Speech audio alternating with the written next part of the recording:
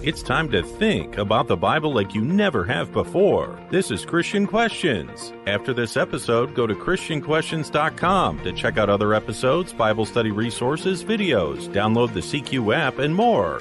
Today's topic is What does God promise us as Christians? Coming up in this episode, if we're living the sacrificial Christian life that God has called us to, then God is powerfully and personally present in that life. According to the Bible, He has a vested interest in us. So, what does this mean? How do God's promises to true Christians work? Do they actually change our lives? Here's Rick, Jonathan, and Julie. Welcome, everyone. I'm Rick. I'm joined by Jonathan, my co host for over 25 years, and Julie, a longtime CQ contributor is also with us. Jonathan, what's our theme scripture for this episode? 2 Peter 1 4. For by these he has granted to us his precious and magnificent promises, so that by them you may be partakers of the divine nature, having escaped the corruption that is in the world by lust. As Christians, our faith in God should translate into an unquestionable loyalty and trust. If God says something will be so, it is a guarantee that it will happen.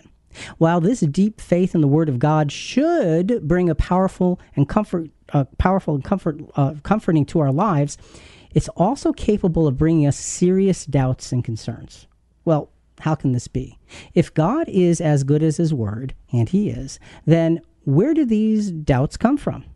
Well, they arise when we do not understand or misapply His word. They arise when we ourselves stand outside of the circle of God's protective providence and seek to claim promises not meant for us.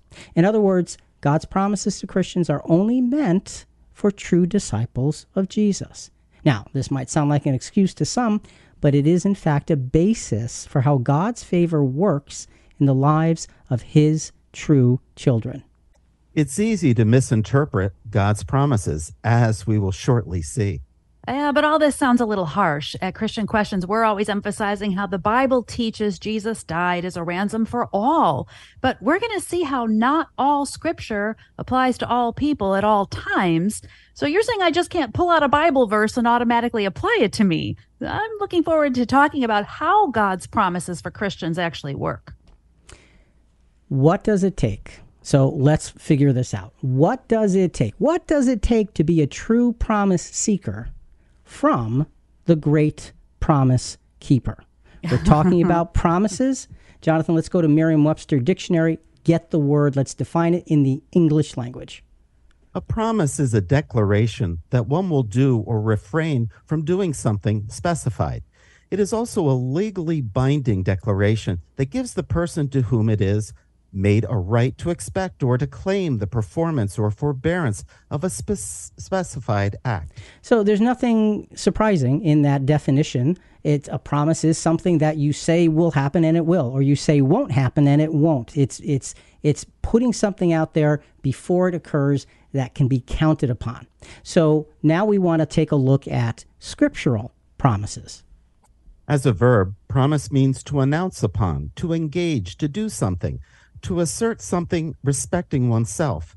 This word gives us a sense of a focused intention before we take deliberate action. In other words, stating your intent. I'm going to do whatever. These aren't idle words. We are serious. We're intentional.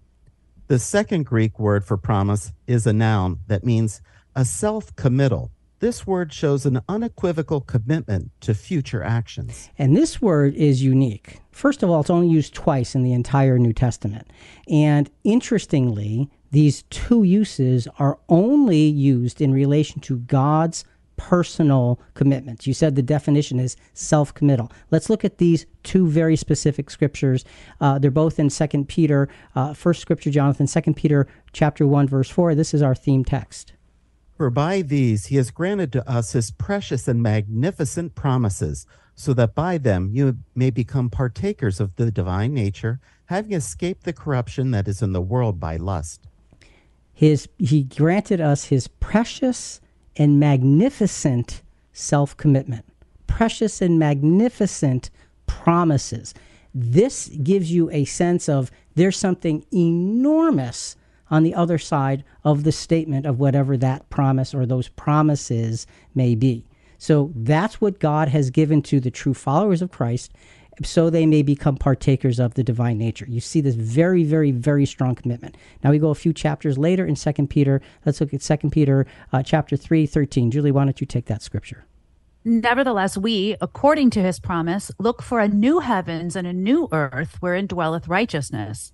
And promises from God are facts that are often not yet completely understood or disclosed, but this one is curious a new heavens and a new earth. That's a really big promise and the interesting thing you said there is there are facts that are not yet understood or disclosed.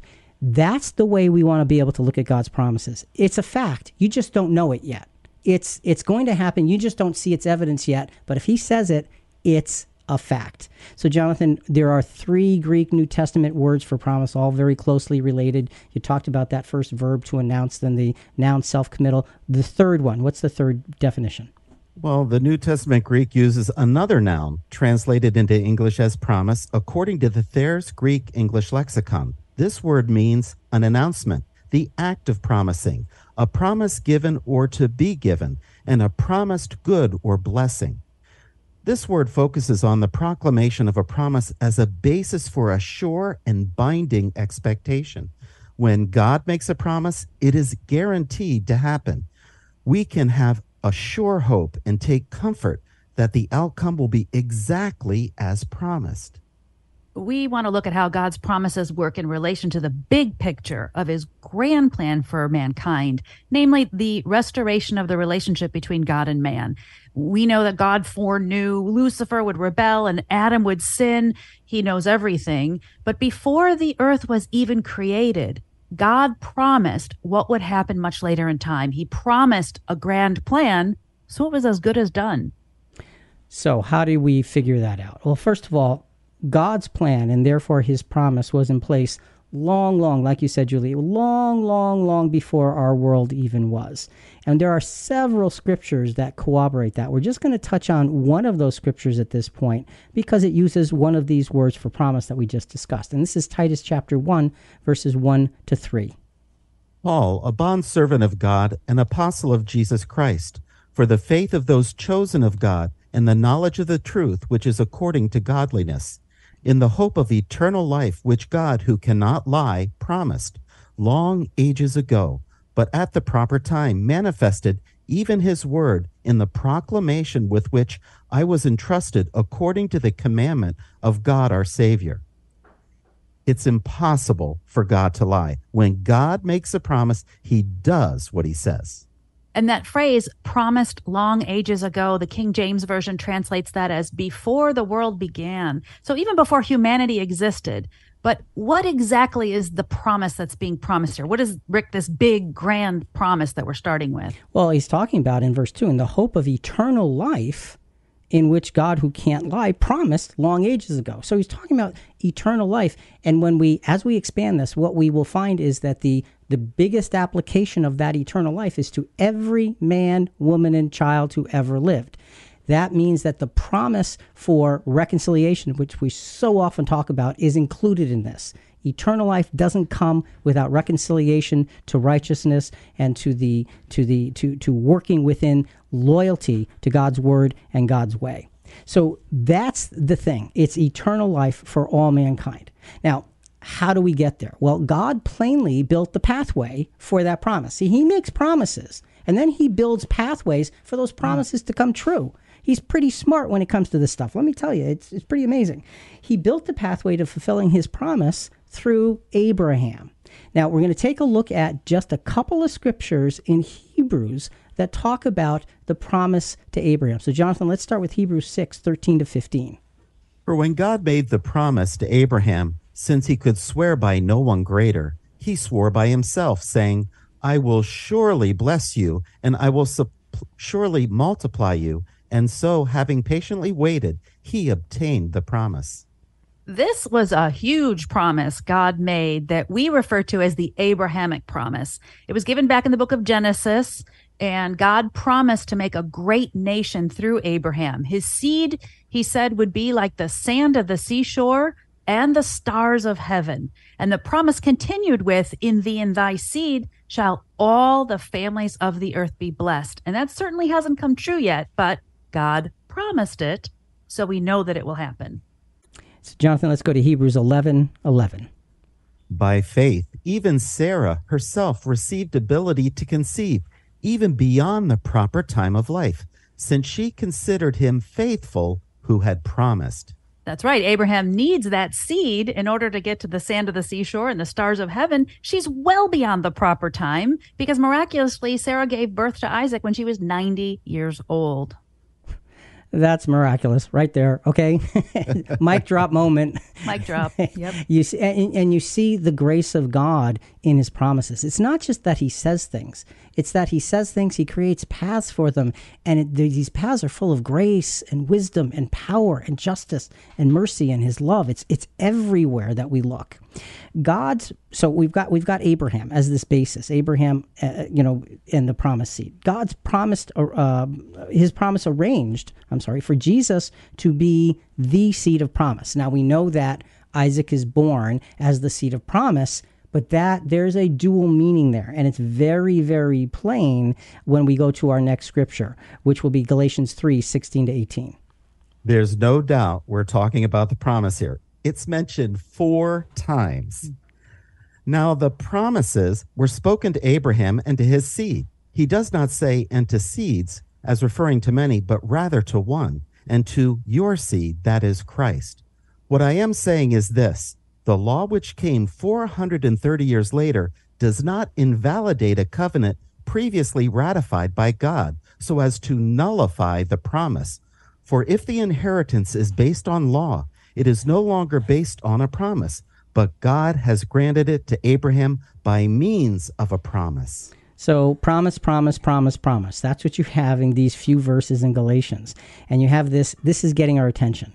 This word for promise is a powerful word, and it's and it's showing us that God made these promises to Abraham, and He put them in place. And He put them in place long before the law covenant, long before there was Moses and the Ten Commandments. There were these promises, and what the apostle is saying is that law came in to show the people a way toward God, but it didn't nullify what God said beforehand. Why? Because He promised it. And when he said all the nations, all the people of the, of the earth will be blessed in his seed, he meant it. And yet you have just the Jewish nation being the, the, the promised seed. That shows you that there's something bigger coming at the end.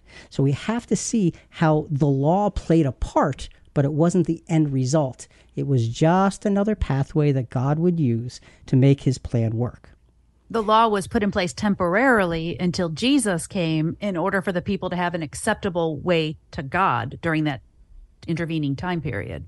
And this is validated by the announcement by the angels to the shepherds at the birth of Jesus. The angel said, I have good news of great joy to all people. The Abrahamic promise says, All the nations of the earth shall be blessed. No one's left out. Jesus' sacrifice was enough. It breaks my heart that some brands of Christianity don't believe it was enough and they have to go to men or organizations to receive salvation. How sad.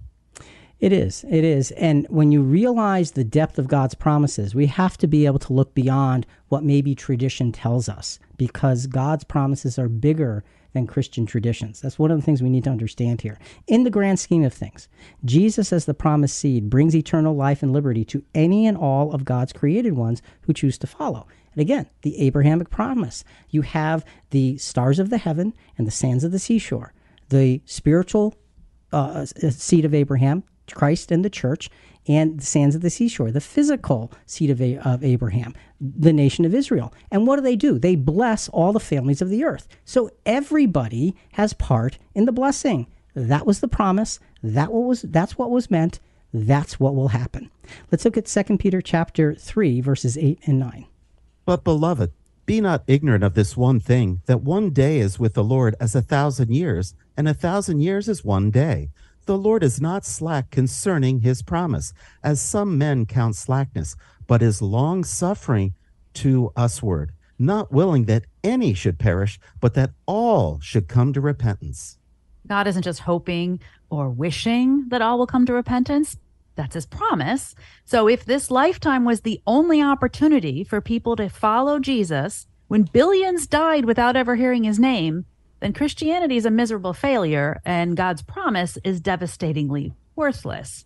But we know that is not true. No, no, no, no, no. Absolutely not. It, is, it could not be further from the truth.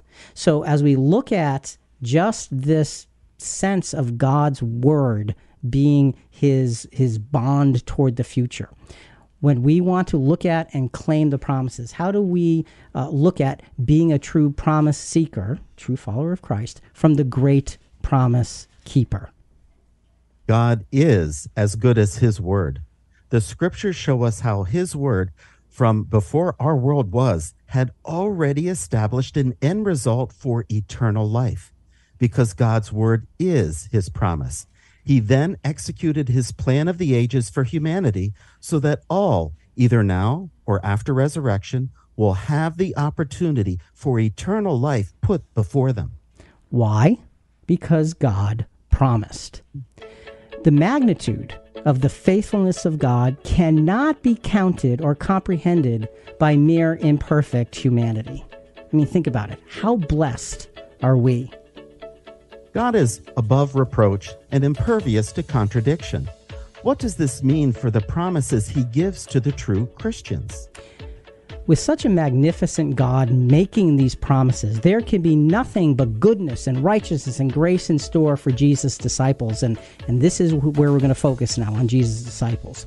However, as we shall soon see, this does not mean that our lives will always uh, feel like things are in perfect order. Oh, no, no, no. On the contrary, we will see that the presence of turmoil and trial multiplies the power of God's promises. So, just spoiler alert, spoiler alert, if you will, we're not saying that God's promise is going to take away your troubles. We're saying God's promises are going to have your troubles stay with you.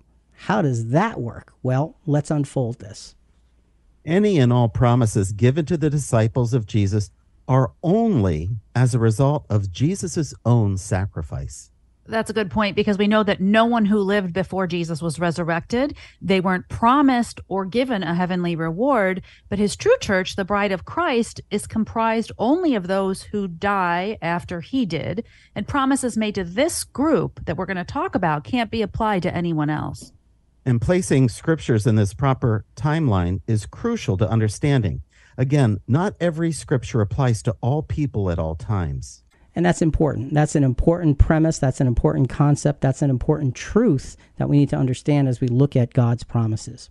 So let's get back to Jesus. Because of his faithfulness, Jesus plain, plainly assured his followers of a place for them with him and his Father. Spoken to his disciples the night before his crucifixion, here's what Jesus said in John 14 1 to 3. Do not let your heart be troubled. Believe in God. Believe also in me. In my Father's house are many dwelling places. If it were not so, I would have told you, for I go to prepare a place for you. If I go and prepare a place for you, I will come again and receive you to myself, that where I am, there you may be also. That is a powerful statement of comfort and focus for the future. I'm going to prepare a place for you, and so that you can be where I will be. And we're talking about the faithful Jesus here. Jesus then, several verses later, assured his followers of continual spiritual guidance in his physical absence because he was about to be crucified. They would still need to know how to follow and what to do. And so here's what Jesus says a few verses later in John 14, verses 15 to 17. And this is from the Weymouth translation. If you love me, you will obey my commandments. And I will ask the Father, and he will give you another advocate to be forever with you, the Spirit of truth. That Spirit the world cannot receive because it does not see him or know him. You know him because he remains by your side and is in you. I'm not hearing the word promise so far. I see what you're saying that, you know, Jesus is offering these things, but is this a is this a promise from God through Jesus for the true believers of Christ? When you think about it, what did Jesus say about the words he spoke? He says, "I speak the words of my Father." That's what he said. And so when you hear Jesus say, "I will ask the Father, and he will give you another advocate, the Holy Spirit," he is saying what the Father told him. So, yes, this is an absolute, unequivocal promise because Jesus is simply reflecting the words and the will of God. The fact that Jesus said he'd ask the Father and the Father would give his Spirit is expressing a promise of God. And we know that to be a fact when we go to the next scripture that we're going to take a look at. This is the night before his crucifixion. He goes through that night of trial and torment and torture. Then he's crucified, and then he's raised from the dead. And then the day that he's going to ascend to the Father, 40 days after that resurrection, here's what Jesus says. He gets his, his disciples together, and here's what he says. And listen how he frames what he just said. Acts chapter 1, verses 3 to 5. To these he also presented himself alive after his suffering by many convincing proofs, appearing to them over a period of forty days, and speaking of the things concerning the kingdom of God. Gathering them together, he commanded them not to leave Jerusalem, but to wait for what the Father had promised, which he said, You heard from me, for John baptized with water, but you will be baptized with the Holy Spirit not many days from now. Okay, so wait for what the Father had promised. Right. So now we know when Jesus told his true followers they would receive this Spirit of truth, God's Spirit. Jesus relayed the promise, even though he didn't use that word. So here in Acts, the disciples were supposed to leave Jerusalem. uh, Sorry, weren't supposed to leave Jerusalem because 10 days later they would understand why. They were going to receive God's Spirit, his power and influence at Pentecost. And this is, I think, in the Bible, the first promise to faithful Christians as a group. And it's a necessary first step in every Christian's walk, this receival of the Holy Spirit, receiving of the Holy Spirit. Yeah, yeah, this is where the promises to true Christians actually have their roots. The begettal or the, the receiving of God's Spirit at Pentecost, like you mentioned, marked a new age in which what is called in 1 Corinthians a new creation would begin. And that is that spiritual uh, life that begins in, in Christians when they're begotten, when they're given God's Spirit. It was to this new creation that, that the Christian promises of the Bible are all directed. So, how do we know we've been given God's Spirit? Do you have to speak in tongues and physically heal others in order to have proof? No, absolutely not. The when when you look at the gift of speaking in tongues and the gift of healing, you see that they were for a time. How do we know that? Because the apostle Paul said that plainly in 1 Corinthians. He said, "Those are only for a time." That didn't mean the Holy Spirit stopped. It just meant those gifts stopped because now you had the word of God to replace it. So that's where we are working and and and, and focusing. We're we're looking at that more narrow focus of how the Holy Spirit works in us and what we are promised as a result of that. How do these promises work, though? Are we given a free ticket to, let's just say, greatness, abundance, prosperity, happy uh, times? No. We don't get that either. we can't heal, we can't speak in tongues, and we don't get abundance. but but what we do get here's what we do get. We get an assurance of god's providence in the midst of whatever chaos is in our lives. And i will tell you unequivocally i will take any day under any circumstance an assurance of god's providence over anything else because that is the highest power that does exist What do God's promises promise? We will first look at peace. Sometimes people read eloquent scriptures and claim their promises without understanding the details. At face value, this next promise seems to give a 100% chance for God's peace to successfully guard our hearts and minds. Let's listen. Philippians 4 7 says, And the peace of God, which surpasses all comprehension, will guard your hearts and your minds in Christ Jesus. Hey, I don't have to worry about a thing. so if I just read this one verse, it sounds like everyone is promised the peace of God. But if that were true, there'd be no fear or anxiety in this world. Who specifically is promised this peace? What are the requirements to get it? I know Paul is writing to the believers of the church at Ephesus, and his letters were circulated throughout the established churches, but who gets it and how? Well, in this particular verse to the Philippians, we have this this very specific promise. Now, here's the thing, and and this is a, a documented fact that the letters to the churches were circulated amongst the churches. They were copied, and copies were sent here and there. Why? Because the words written to one group were for all groups. What was the qualification? Follower of Christ, begotten by God's Spirit, doing God's will. That's that's who these promises are absolutely for. And it's not so simple as just having this, okay, God's peace is going to come and it's going to guard your heart and mind in Christ Jesus and you'll never have another worry again. Let's take a look at the context. That's one of my favorite words. The context gives us a bigger picture of what needs to be in place for this promise of peace to work. So, Jonathan, instead of reading just Philippians 4 7, let's read Philippians 4 4 through 7. Rejoice in the Lord always. Again, I will say, rejoice. Let your gentle spirit be known to all men. The Lord is near. Be anxious for nothing, but in everything by prayer and supplication, with thanksgiving, let your requests be made known to God. And the peace of God, which surpasses all comprehension, will guard your hearts and your minds in Christ Jesus.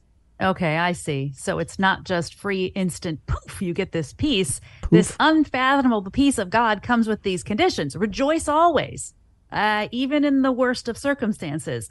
Have a gentle spirit and display it at all times. Don't be anxious. Pray constantly. In other words, live the peace of God, whether you're in abundance or scarcity. So we have to comply in order to receive. Many of the promises have some requirement or need effort on our part in order for them to be received. Hmm. It's important that we we understand that there are there are qualifications. A promise isn't given and and just sits out there and just naturally just you just suck it into you and all of a sudden you're transformed. We have to be willing recipients of that promise by by essentially creating an environment where the promise can be planted. God's promised peace is a verifiable an attainable aspect of our lives. If and you see in this in this discussion on promises there's always the if. There's always the but. Why? Because god's promises are so big and so powerful they require us to to to reach up to them instead of just sit here saying oh just just rescue me. If we let god's peace dwell in us then it can. We have to let it. Colossians 3 14 to 16 Beyond all these things, put on love, which is the perfect bond of unity. Let the peace of Christ rule in your hearts, to which indeed you were called in one body, and be thankful. Let the word of Christ richly dwell within you, with all wisdom, teaching and admonishing one another with psalms and hymns and spiritual songs, singing with thankfulness in your hearts to God. We have to claim the peace and do something about it just having a scripture on a mug or a t-shirt isn't enough. it's a good reminder, but yes, you're right. It's not enough. You read, let the peace of Christ rule and let the word of Christ richly dwell.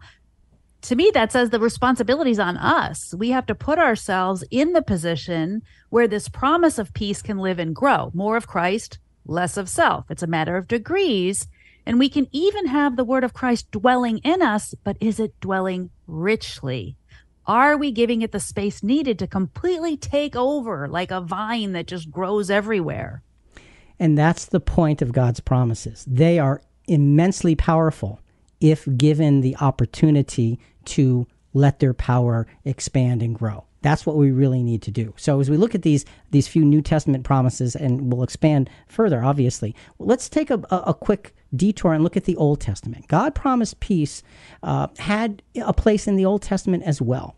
Just as in the New Testament, His peace does not come without our preparing for it and inviting it. It's the same principles. Isaiah, a couple of scriptures we'll take a look at Isaiah 26, 3 to 4. That will keep him in perfect peace, whose mind is stayed on thee, because he trusteth in thee.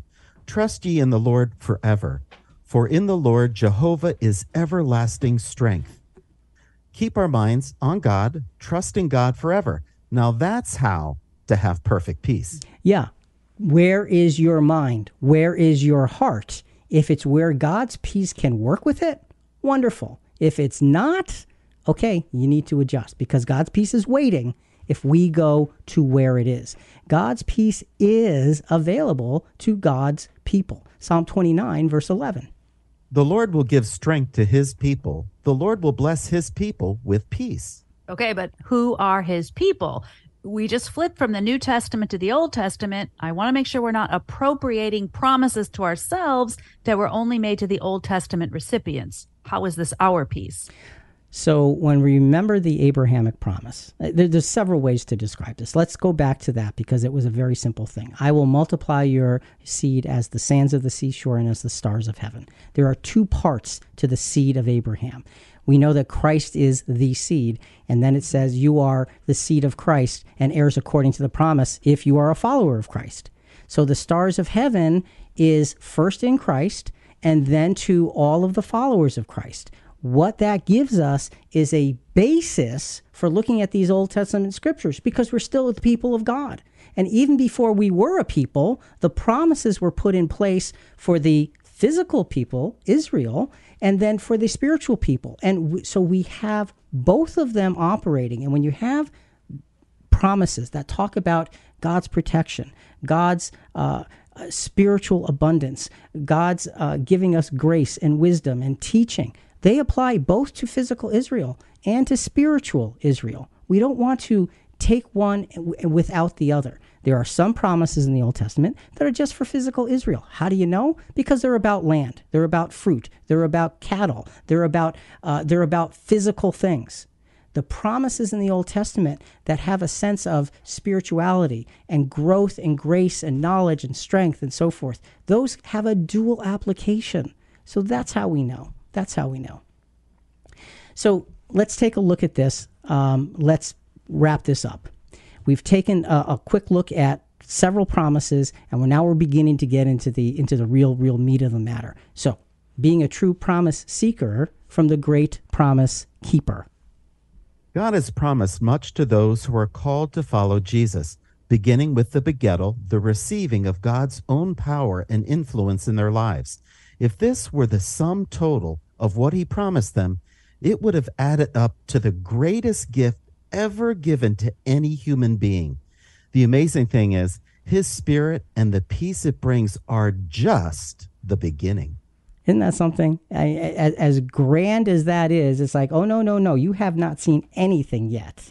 This is only the beginning of what God has in store for those who are called to follow Jesus. I mean, think about it. How blessed are we? What about our trials? Can we expect that we will be delivered out of our trials if we have promises from God that tell us we will? Well, the short answer to this is absolutely. The longer and more complete answer to this is yes. But, there's but again, but we need to clearly understand what kind of deliverance God has in mind. See, it's far too easy to assume that my definition of deliverance is correct, when in fact, my definitions of many things spiritual are just plain faulty.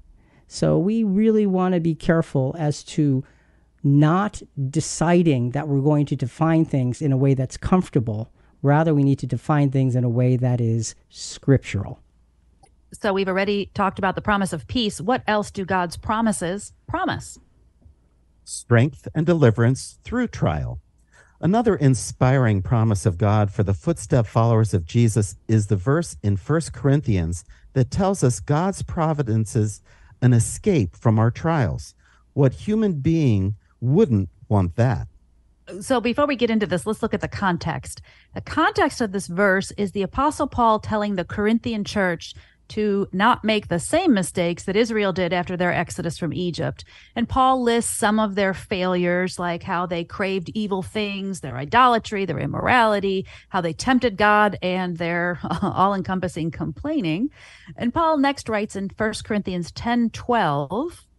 Therefore, let him who thinks he stands take heed that he does not fall. God's chosen people are just delivered from the clutches of sin, but not to a life of ease. Paul is warning the Corinthians and us as spiritual Israelites to not make the same mistakes they did.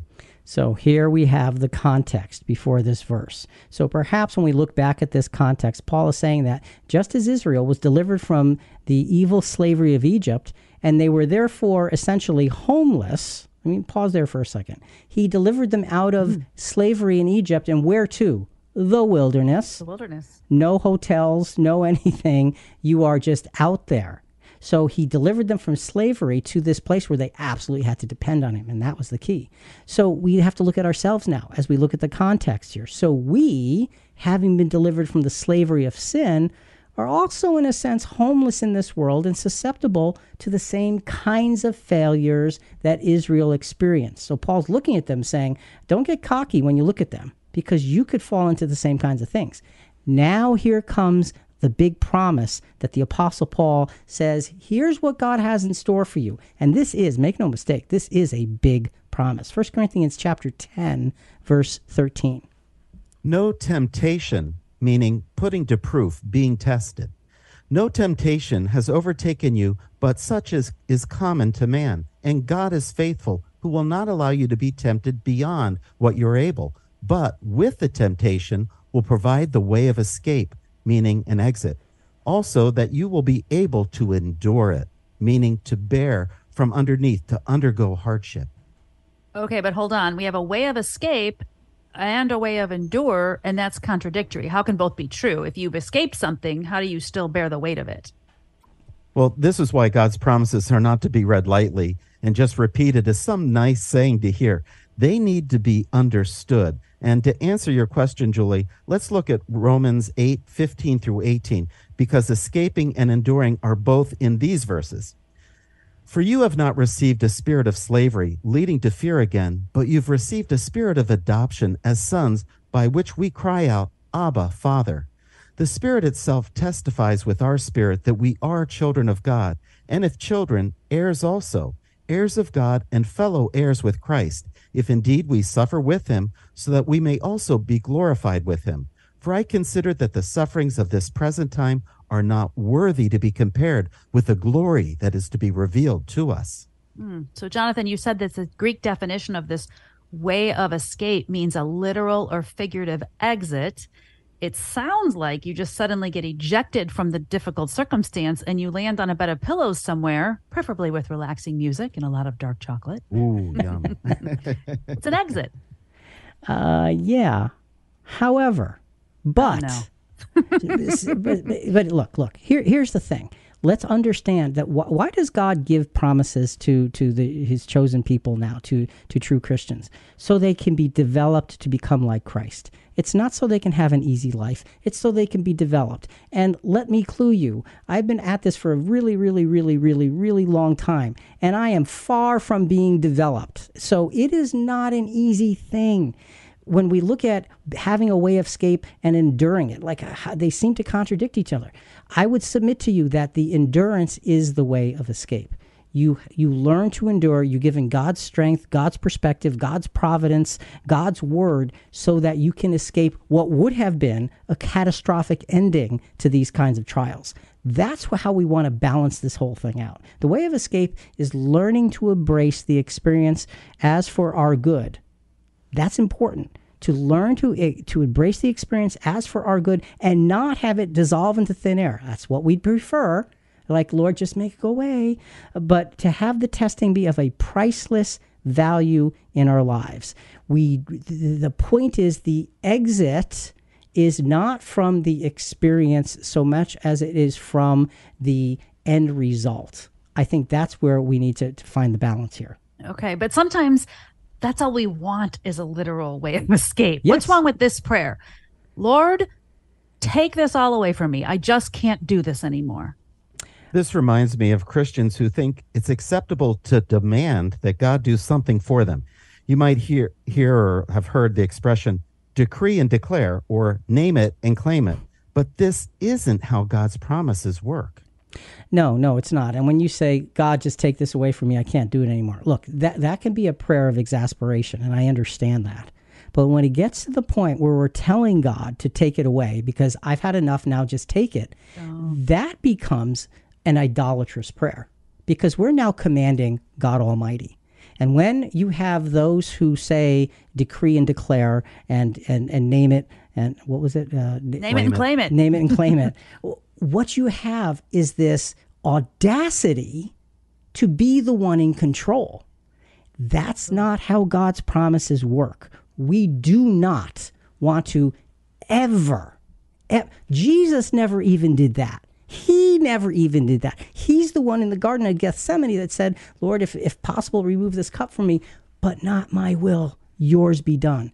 That should be the ending of that prayer, Julie, because that is the way Jesus did it. And if he did it that way, that's what we need to learn here.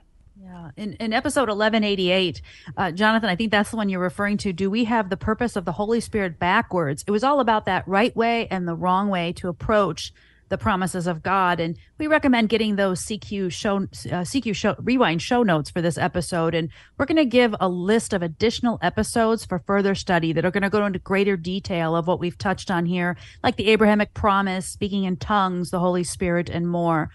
So moving on, there is a way of escape, which we found out doesn't necessarily means the trial ends, but there's also that so you will be able to endure it. How is that second part accomplished? Well, this all comes down to being properly equipped for whatever God's providence allows to come before us. You know, if you know there's a tragedy coming, uh, you know there's a, a something coming that you have to be prepared for, you get prepared ahead of time. Sure. This is what God's promises do. And let's take a look at God's ultimate preparation kit for us in Ephesians chapter 6 verses 10 to 13. Finally, be strong in the Lord and in the strength of his might. Put on the full armor of God so that you will be able to stand firm against the schemes of the devil. For our struggle is not against flesh and blood, but against the rulers, against the powers, against the world forces of this darkness, against the spiritual forces of wickedness in the heavenly places. Therefore, take up the full armor of God so that you will be able to resist in the evil day and having done everything to stand firm. So, another promise is that we have this strength through this armor, through his word, and through uh, these experiences. In other words, I'm not going to ask the Lord to erase this from my life's experience. I would pray, Dear Lord, help me to be armed so I can face this experience with your overruling providence. Is that a better prayer? That is a much better prayer. And the way to live that better prayer is to get dress dress the part. Oh, okay. dress the part, put on the armor. Don't go, yeah. don't leave home without the sword of the spirit or the breastplate of righteousness, and certainly don't leave your shield of faith in the closet. Take those things with you because they give us the capacity to be able to receive God's promises. And when He says that you will be able to bear it, He's saying to us, do your best, and I will absolutely cover the rest. You just show up and I'll walk you through it. I will deliver you because I am your God. I said so, and that means it's a fact that just hasn't been disclosed yet. It's a promise for a refocused spiritual mind to handle whatever life brings us yeah. in order for it to be a positive, growing experience of character development and not a tragedy. That's huge. Uh, okay, so what else do God's promises promise the faithful followers of Jesus? Belonging. Embracing the testing and God's provided way of escape are evidence of our fidelity to the call of Christ. That call of Christ is one of being invited into a new spiritual relationship never before available. John 17, 22 through 24. The glory which you have given me, I have given to them, that they may be one, just as we are one, I and them, and you and me that they may be perfected in unity, so that the world may know that you sent me and love them, even as you loved me. Father, I desire that they also, whom you have given me, be with me where I am, so that they may see my glory, which you have given me, for you loved me before the foundation of the world what a promise. Like, this is an incredible opportunity. This is the promise of heavenly glory and immortality to be one with the Father and Jesus in complete unity. It's it's it's unfathomable. What's the catch? The oh, ca- what's the catch? The catch is you have to live in a Christ-like way. Right. You have to follow in his footsteps. And right. his footsteps did not walk a nice, rosy, easy path. His footsteps walked through trauma and trial and difficulty and testing and, and pushed him to the limits. Why should we expect anything less? having been given such an amazing level of promise. What a way to belong, though. to be with him. I want them to be with me where I am. This was his last prayer, his last undisturbed prayer before his life ended. And what does he spend it doing? Praying for us. Think about this. Think about the depth of what this promise is saying. It reminds me in terms of belonging of another promise in 1 Corinthians chapter 3 verses 21 and 23. So then, let no one boast in men, for all things belong to you, and you belong to Christ, and Christ belongs to God. You belong to Christ, Christ belongs to God. That's a yay and amen statement. How is that possible? By walking in Jesus' footsteps. What's another result of walking in Jesus' footsteps? Well, another promise in 2 Corinthians 6:18. And I will be a father to you, and you shall be sons and daughters to me, says the Lord Almighty. What a powerful family connection. God's Spirit within us provides this unique relationship. This isn't just for anyone who has that I love Jesus coffee mug on their desk, is it though? This is the depth of the promise of God. This is as big as it gets to actually be with God and Christ in heaven to have God call you his son. Ugh. You know, and to, to, to be to be the brother of Jesus. It's just it, it is. But again, the promises are not freebies. They are given freely, but we must stand up and reach for them with the greatest spiritual effort that we can. Being a true promise seeker from the great promise keeper. Jonathan, what do we have? God's promises are comprehensive they will positively affect every aspect of our lives, but only if we position ourselves to be able to receive them. God's strength and deliverance in our lives depends on our seeing our experiences through His eyes and using His tools. This will only happen when we truly belong to God through Christ. Only when we truly belong to God through Christ. How do you belong to God through Christ? It's not just in your words, it's in your thoughts, in your actions, and it's in the trail that you leave behind you. It's in those that you are in front of you that you embrace. It's in always looking up in prayer. It's in keeping things in order so that God's will can flow through you so that others can be blessed by it. It's inspiring and encouraging to realize the personal care and attention we are given by God through Christ. I mean, how blessed are we? We have seen God's promises that we will have peace, strength, deliverance, and belonging. What else does He promise? While all that we have seen thus far is inspiring, it's important to realize that we can only scratch the surface of the depth of His care for us. There is so much more. Now, in an attempt to merely introduce a few of the many other ways God's promises guide our lives, we're going to take a look at Psalm chapter 91 as an inspirational and comforting example. The promises so far have been amazing, and they're so much bigger and better than what we have to do in order to qualify for them. So, what else do God's promises promise to the faithful followers of Jesus. What else could there be? Let's look at Psalm 91 as a whole to see the kinds of promises that are given to God's people.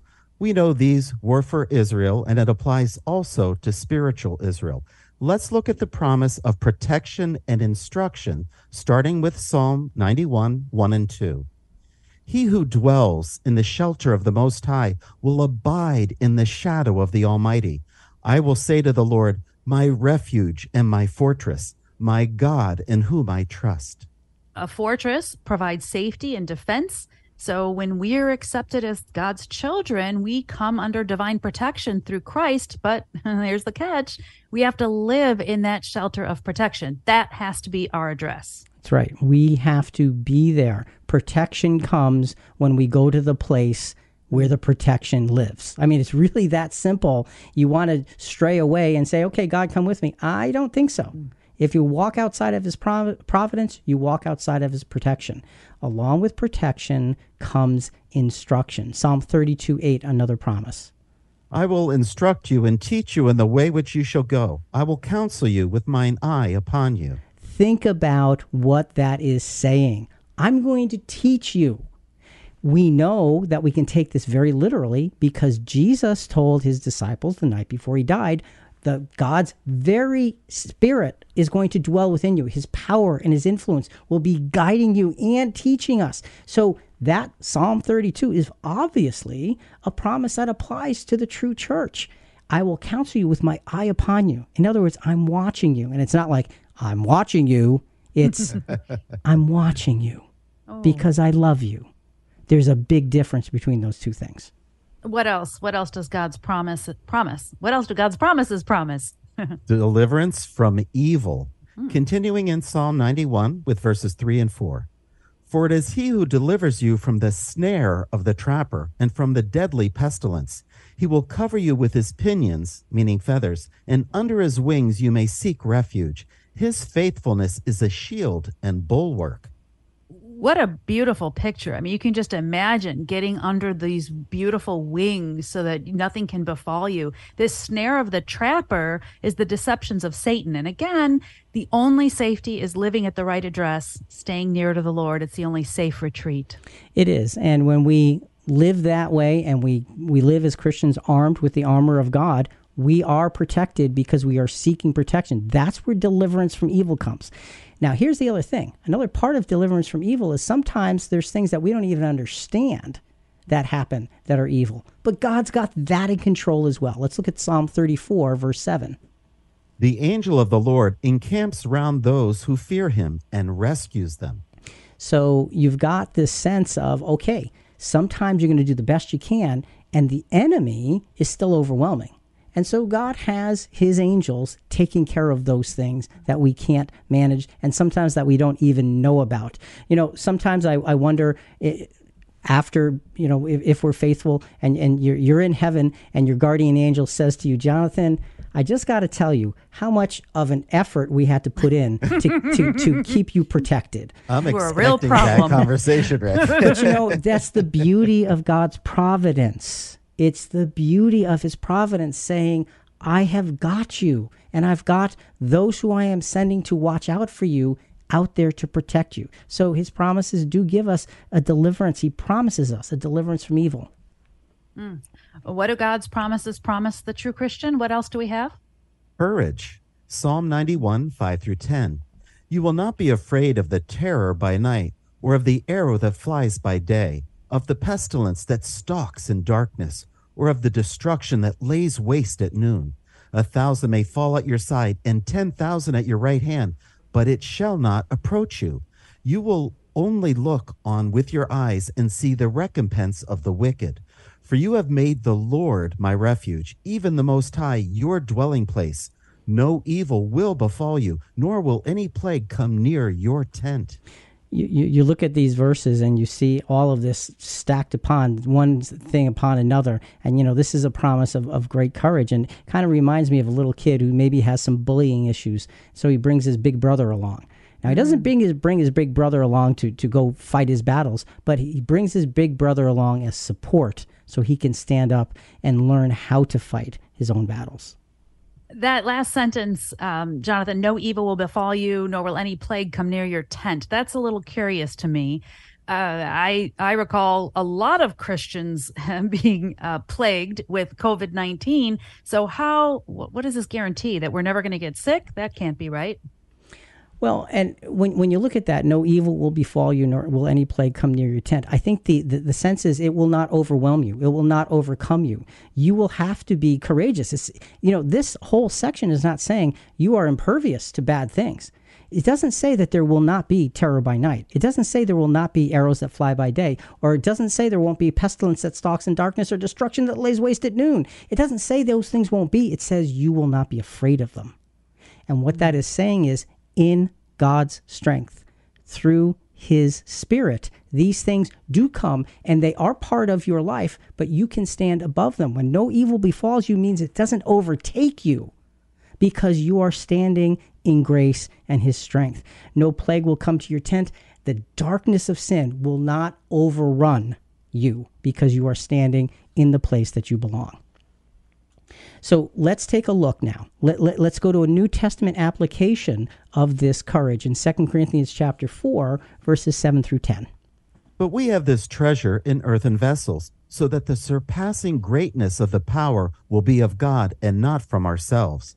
We are afflicted in every way, but not crushed, perplexed, but not despairing, persecuted, but not forsaken, struck down, but not destroyed, always carrying about in the body the dying of Jesus, so that the life of Jesus also may be manifest in our body this whole thing is a reframe. It's just like that way of escape we talked about. This isn't where you press an easy button and it all goes away. It's not promising to remove our afflictions, afflictions, but they won't crush us. That's what you were saying, Rick. We may be struck down, but we won't be destroyed. So reframing our circumstances helps us to take a step back and look at that situation from a higher perspective to see its higher purpose. And, and, if you notice the last verse there, always carrying about in the body the dying of Jesus, so the life of Jesus may be manifested in our body.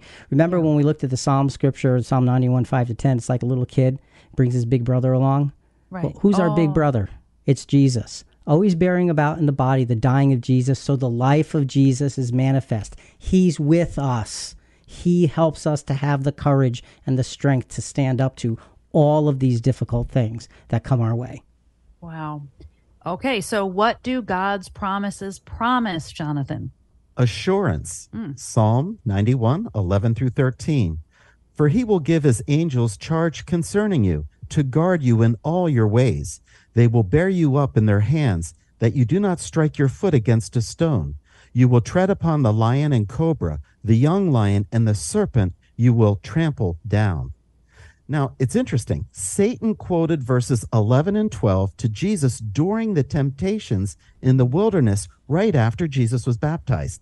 Isn't it ironic that Satan didn't quote verse 13, which shows he will be destroyed? Remember, Peter refers to him as a roaring lion, and that's in 1 Peter 5 8. And in Genesis 2:15, he was a serpent whose head will be crushed, a fatal blow. Yeah, you know, this is a classic example of selective scripture reading by Satan.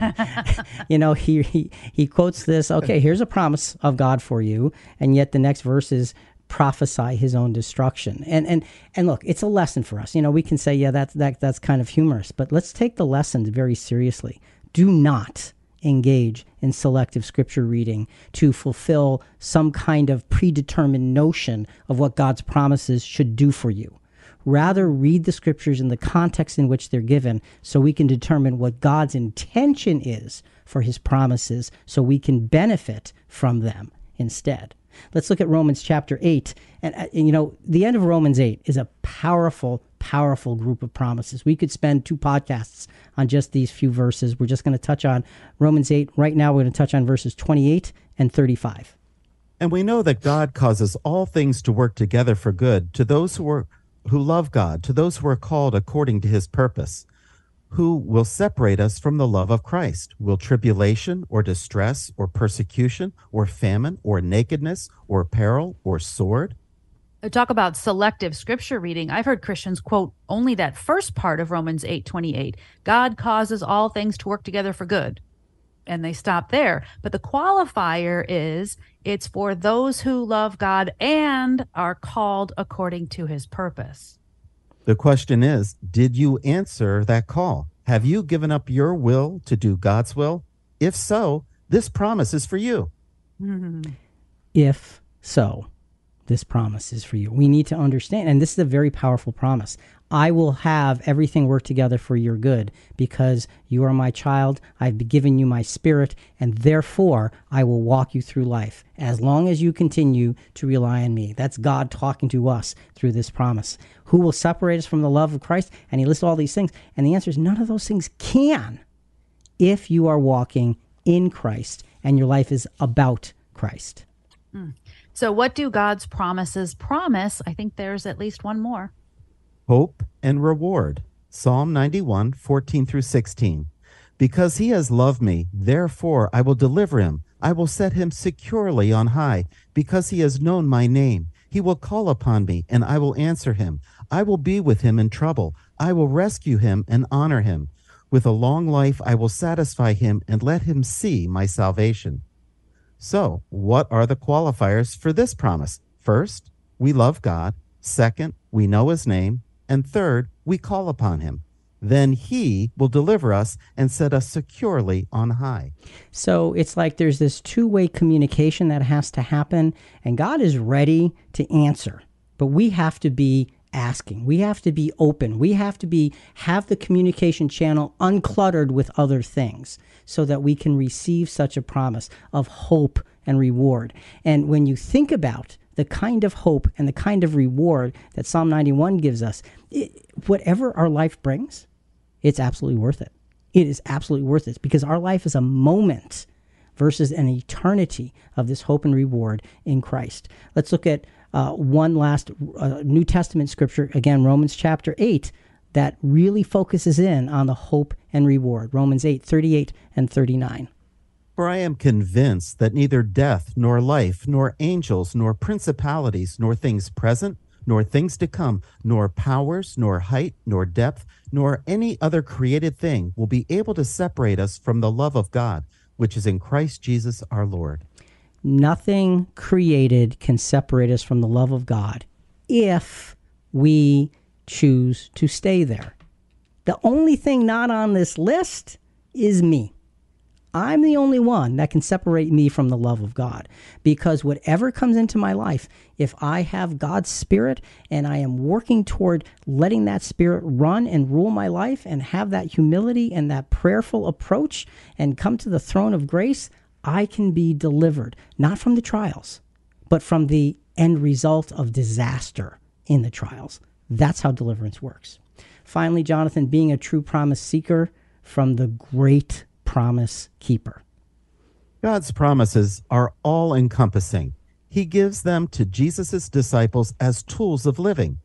All of the instruction and protection and deliverance and courage and assurance and hope and reward he promises are there not to rescue us from our life's experiences and tragedies, but to walk us through them. In so doing, he prepares us for an eternity of heavenly life and loyalty to Him. That is an amazing story right there. And remember that these are the promises given to true Christians. And there is a whole other set of promises given to the world in the resurrection. They are given the promise of, of prosperity and hope and happiness and sinlessness and deathlessness, all when they get themselves in line with the will and the ways of God through Christ. But for now and for here and this age, these are the promises given to the true church. One last take a look look at God giving us promise. Hebrews 10 35 to 36. Therefore, do not throw away your confidence. Now, we've heard all of these things, mm. and you've given, given, been given so much to be thankful for and to look forward to. Do not throw your away your confidence, which has a great reward. For you have need of endurance, so that when you have done the will of God, you may receive what was promised. When you've done the will of God, now look, we can do it and we can fall and we can fail and we can get up and ask for forgiveness, and God counts that as having done it. I know you messed it up, but you're my child. I love you and I know you're trying hard. Get up and do it again. Get up and do it again. And this is the promise that I give you the promise of my providence and my grace and my love and my care and my direction. That's how God works in the life of a Christian. What are we going to do about it? Think about it. Folks, listen, we love listening, uh, hearing from our listeners. We welcome your feedback and questions on this episode and other episodes at ChristianQuestions.com. Coming up in our next episode, we've talked about God's promises. Our question Are my promises, are my promises reliable? Talk to you next week.